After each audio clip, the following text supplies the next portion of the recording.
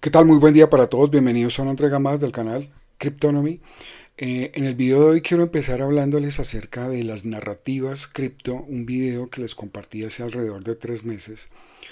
Eh, esta, como se las dije en este video, iba a ser la ruta o el mapa de ruta para lo que es 2024 y 2025. Y hoy quiero hablarles acerca de la narrativa del restaking, del cual ya hemos hablado también en el canal mirando eh, proyectos como Agent Ledger en la red de Ethereum.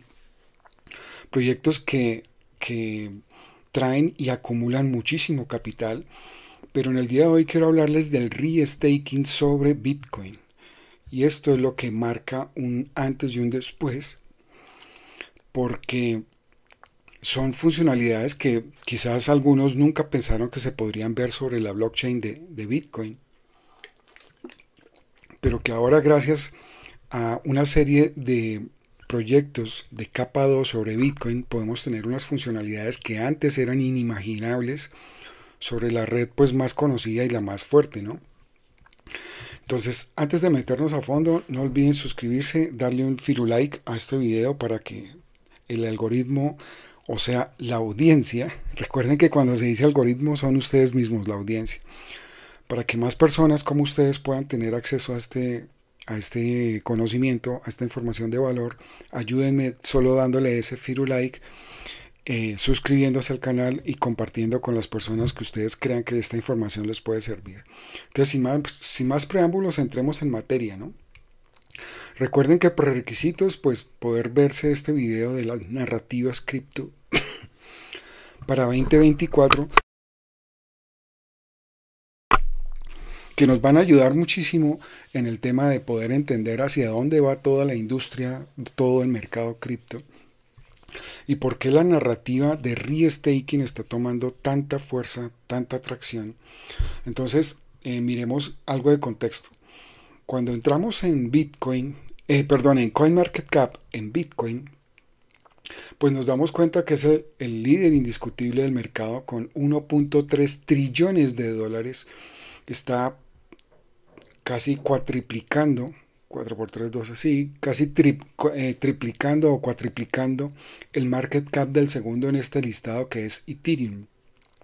Toda la categoría de restaking se estaba yendo hacia la liquidez de Ethereum, pero ahora imagínense el restaking en la categoría de Bitcoin, o mejor, dentro de la red de Bitcoin. Esto es, marca un antes y un después, porque cuando, cuando empezamos a ver por qué Bitcoin, pues obvio vamos a tener en cuenta que fue la, el creador de categoría, fue el que creó las criptomonedas, el que creó el concepto blockchain, dinero descentralizado, fue el que creó eh, pues toda esta, esta carrera loca de cómo empezar a no depender de entidades centralizadas, de la descentralización, de eh, tener eh, cero, cero mm, repudio, cero eh, miedo de, que esto fuera controlado por un tercero, por un gobierno, y eh, cero censura, no es censurable. Entonces cuando miramos los fundamentales de esto, pues empezamos a entender por qué, por qué el restaking en la red de Bitcoin era tan necesario con un market cap de 1.3 trillones, como se los he dicho, y eso que ha corregido un 4.92%, porque todas las grandes ballenas y los fondos lo que hacen es subir, bajar el precio para ordeñar a la red, ordeñar a todo el sistema, ordeñar a todos los que eh, se asustan y, venden con estos movimientos. Entonces, eh, aquí lo importante es entender cómo cómo se está manejando esto y cómo podemos sacarle provecho. Ahora, si entramos dentro de CoinMarketCap a la categoría de Bitcoin, eh, yo les dejo los enlaces en la descripción para que ustedes lo miren. En, todo el ecosistema, pues vamos a encontrar proyectos muy interesantes como Bitcoin Cash, como Stacks, como Ordi, ¿sí? Eh, yo les hablé aquí de Alex Labs, que tengo el video por sacarlo también de, de cómo hacer restaking en Alex Lab. Pero en el video de hoy quiero hablarles acerca de stake layer y ya vamos para allá, simplemente quiero darles como el contexto, ¿no? Si ustedes entran aquí dentro de Cointelegraph, pues van a encontrar muchos artículos en los cuales se habla de la importancia de los protocolos DeFi para lograr una eh, adopción masiva de, de, lo que es Bitcoin, porque están atrayendo liquidez, porque están atrayendo atención y sobre todo porque están atrayendo mucho desarrollo y desarrollo sobre la red más importante, la blockchain más importante, la única que es 100% descentralizada, que no depende de alguien. Y esto es lo que nos garantiza saber que eh, pues no vamos a estar a merced de una persona, de una institución o de un gobierno. Yo les dejo los enlaces para que lean esto. Dentro de Binance Academy está una información muy completa que también se las comparto para que usted pueda leer, capacitarse, ¿sí? Y, ver, por ejemplo, por qué, cuáles son los aspectos claves de tener redes de capa 2 en Bitcoin, ¿no? Aquí, eh, pues lo más importante es entender que eh, estas capa 2 abordan desafíos de escalabilidad, mejoran la velocidad de las transacciones y reducen las comisiones. Algunos ejemplos de protocolos de capa 2 de Bitcoin incluyen a Lightning Network, Rodstock, Stacks, que ya hemos hablado aquí en el Calar, y Liquid Network. Entonces, esto no es una moda, es una necesidad que se está empezando a suplir porque Bitcoin siendo el más grande necesitaba poder llenar estos vacíos, poder ofrecer estos servicios y estas funcionalidades que solo las estaba ofreciendo Ethereum. La capa 2 a menudo utiliza mecanismos de escalabilidad como los canales de estado, las sidechains y los rollups de blockchain.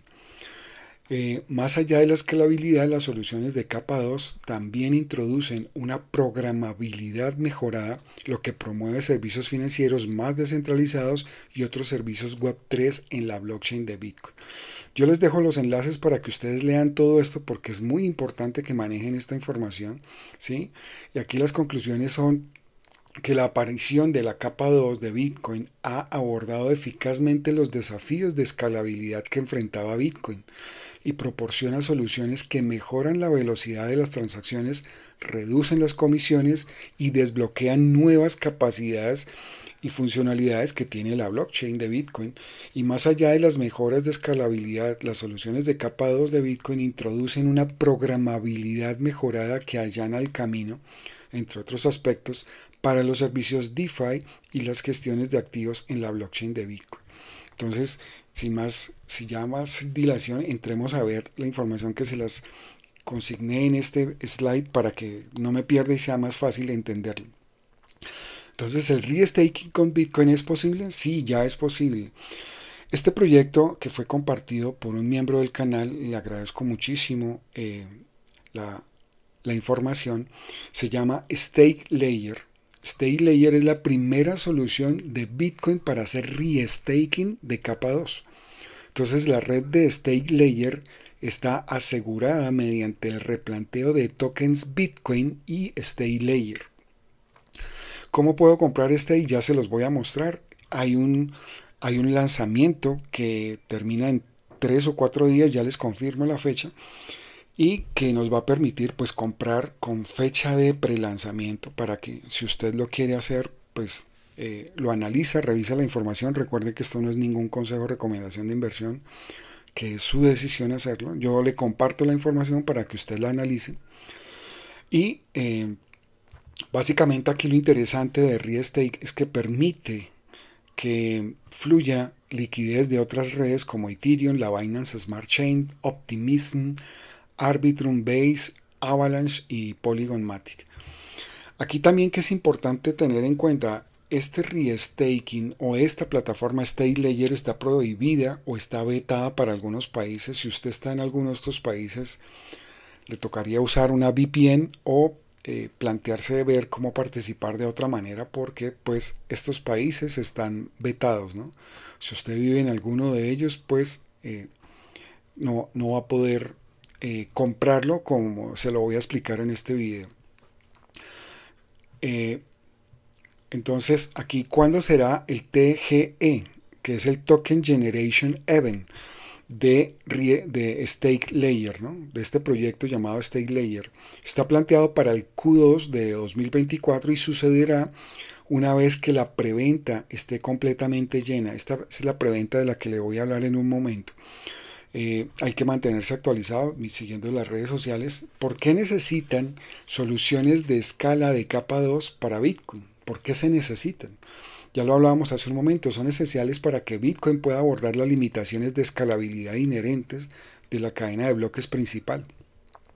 Bitcoin fue diseñado intencionalmente con un script limitado para reducir la superficie de ataque, o sea, lo hace muy seguro, de las cadenas de bloques y aumentar su seguridad y durabilidad. Pero a medida que Bitcoin gana popularidad y aumenta su uso, la capacidad de la cadena de bloques primaria puede verse limitada por alta demanda de espacio en sus bloques y lo que ya hablamos en otros videos, que el tamaño de memoria del bloque es muy pequeño para poder hacer miles de transacciones por segundo. Estos son los tokenomics de este proyecto State Layer para que usted lo, vea, tenemos un liquidity pool ah, con un 10% asignado, esta preventa un 20%, la comunidad y incentivos para los usuarios un 30%, para el equipo y advisor 10%, para marketing y crecimiento de la comunidad un 5%, para desarrollo un 15% y para eh, todo lo que es eh, los partnerships o los, sí, los, los partners eh, y ayudar a la expansión del ecosistema un 10%. Ahora, ¿por qué State Layer? El mecanismo de restauración eh, innovador para maximar, maximizar nuestras ganancias es una tecnología única de reposición, es seguro eh, porque está sobre la blockchain más segura que existe que es Bitcoin. Su inversión va a estar protegida con medidas de seguridad de última generación, lo que garantiza pues tranquilidad, ¿no? Una interfaz amigable para el usuario para que no nos volvamos un 8 tratando de hacer esta inversión y procesos transparentes con Stake Layer lo que ves es lo que obtienes sin tarifas ocultas y sin eh, cobros eh, por debajo. Esta es la arquitectura del restaking eh, sobre la blockchain de Bitcoin. ¿no? Está el titular que hace un depósito eh, ya sea que utilice cualquiera de estas cadenas. Eh, eh, esto es un, ciclo dinámico que está en permanente flujo. ¿sí? Tenemos la forma de hacerle un boost a que cada token de capa de staking y esta es el, el Bolt de staking, el BTC Bolt. Aquí está la, el, el gerente de estrategia de rendimiento. Recuerden que esto está traducido literal y a veces las traducciones no, no, son muy buenas al español, pero la idea es que usted lo pueda ver en este diagrama de flujo y entender, ¿no? Aquí están las, las apps, las D-apps, apps de DeFi con el tema de préstamos, rendimiento de liquidity pools, el bridge y otro rendimiento de esta eh, la parte de CFI, ganancia simple, comercio y arbitraje, y todo se, eh, se interactúa o se correlaciona dentro de la gerencia de estrategia de rendimiento. Ya lo vamos a ver en vivo para que quede como más claro. El camino hacia el futuro, Stake Layer admite varios tipos de activos. Podemos tener dentro de este, estos tipos de activos a Ethereum, a Bitcoin, a eh, Tether, a USDC. Y entonces estas son las principales características, tarifas bajas, alta escalabilidad, ¿sí? soporte de protocolos de Bitcoin y innovación nativa. ¿Por qué está llamando tanto la atención la capa 2? Ya lo hemos hablado. Eh, esto es básicamente el resumen. Entonces ya entrando en materia, yo les dejo un enlace en la descripción del video para que usted pueda eh, ir directo a la página de stakelayer.io, se conecta con su wallet y aquí hay una mm, compra mínima para esta preventa de 70 dólares. Usted la puede hacer directamente con cripto o lo puede hacer a través de, también de tarjeta de crédito. Estos son como los detalles de las rondas que van a ver para que usted vea eh, cuánto se está vendiendo eh, y a qué precio le quedan cuatro días, 12 horas a, este, a este lanzamiento o a esta preventa para que si usted lo quiere, mm, lo quiere analizar, lo quiere ver y, si toma la decisión de participar o no, pues aquí usted puede tener toda la información. Esto es, esto es todo lo que les quería compartir en el video de hoy. Eh, antes de, irme, quiero contarles dos cosas que es importante que tengan en cuenta.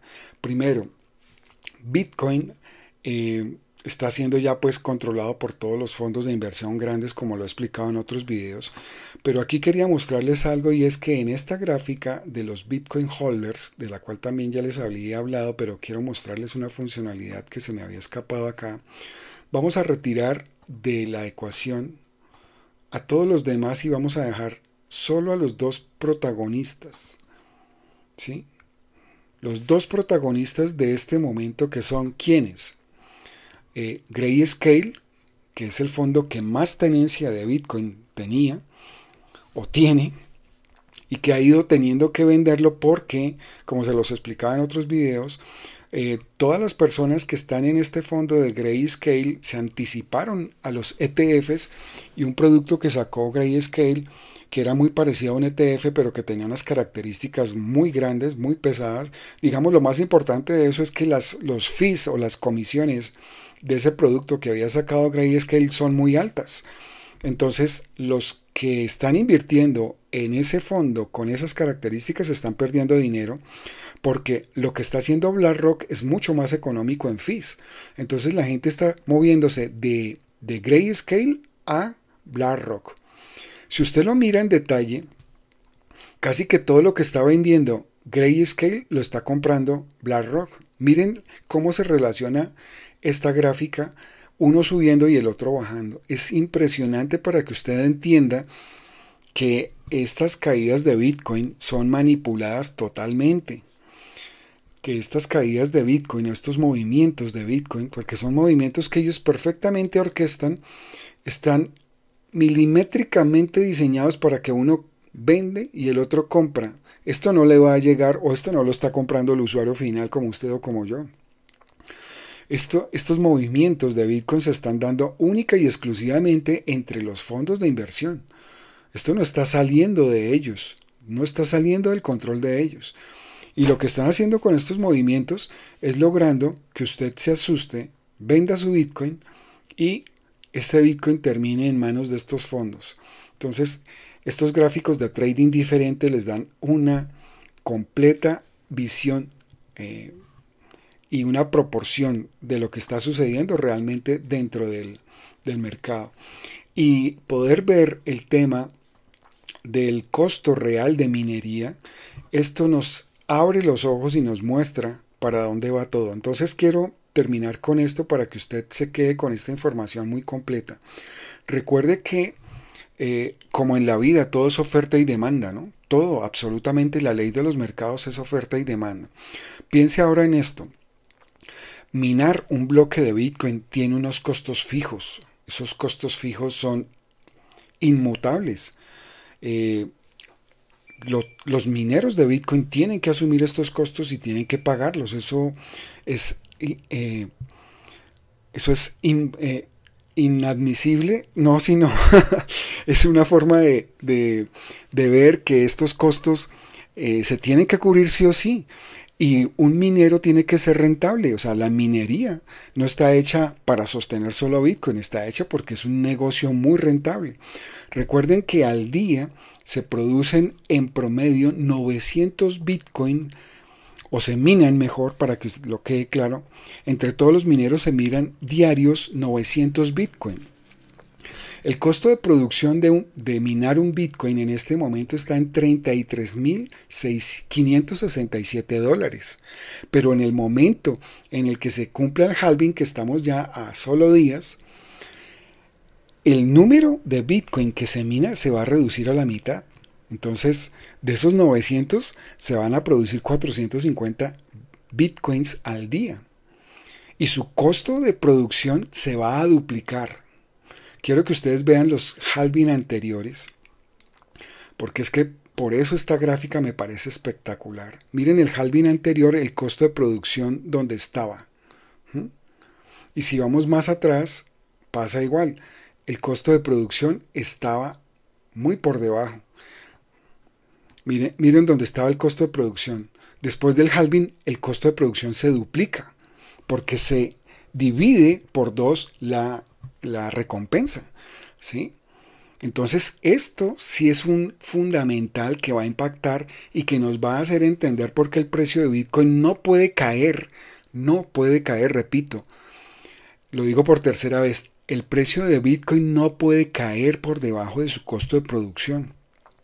Un minero no va a trabajar a pérdida, ¿sí? Los mineros no van a trabajar a pérdida porque sería absurdo. Nadie va a colocar toda esa cantidad de hardware eh, internet y energía a producir para salir a pérdida. Nadie lo haría. Entonces entendamos esto, el costo de producción de Bitcoin eh, después de un halving se duplica y la recompensas se dividen entre dos. Entonces des en cuenta, primer, este halving que fue el del 2016, este era el costo de producción, 399 dólares. Después del halving subió a 835. Si lo vemos aquí en el halving del 2020, el costo de producción antes del halving estaba en 6.144 dólares. Después del halving subió a un promedio de 10.000, 11.000 dólares.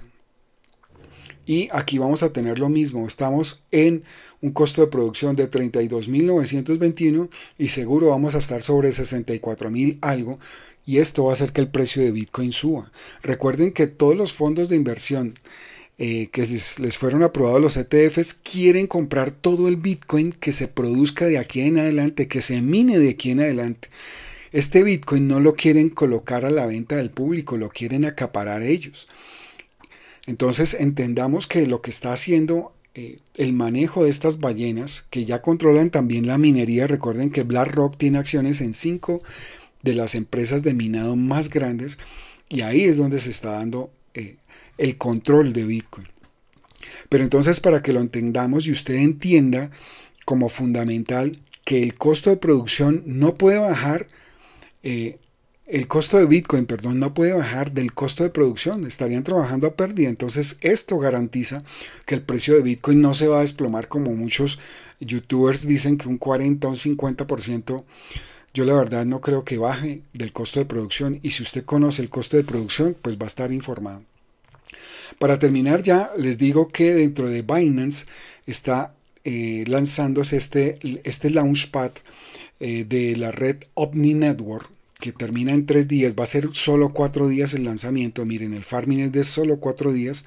Usted coloca lo que pueda de BNB o de FDUSD y a cambio pues va a recibir recompensas en el token OVNI por si quiere revisarlo.